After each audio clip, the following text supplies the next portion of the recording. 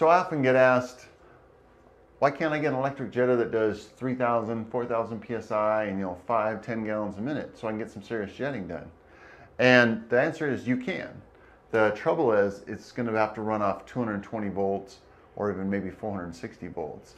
What do I mean 220 volts? I mean like if you're going to run that in a residence, you'd be having to run off the plug for their dryer or for their stove. And that's just really not very convenient for sake of jetting. And even in that, it probably will only give you the amps to maybe double the output of this. Um, to give you an idea of amps, just a five gallon a minute, 3000 PSI jetter would be 10 horsepower. And in that, that's gonna draw at 220 volts about 25 amps. That's only five gallons a minute, 3000 PSI. If you did 10 gallons a minute, it would be double that.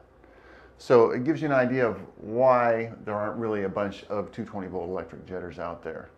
Now, we have done a number of them for industry. Um, we've done a 8 gallon a minute, 3,000 psi several times, uh, 10 gallons a minute, 4,000 psi. We even recently did uh, one that did 5,000 psi at I think 10 gallons a minute. But these ran off 460 volts. They're for industrial applications where they have that kind of power.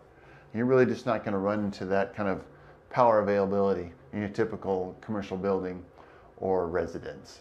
So again, that's why 99% of electric jetters out there that you'll see are going to run off 115 volts and be in the 1500 psi range.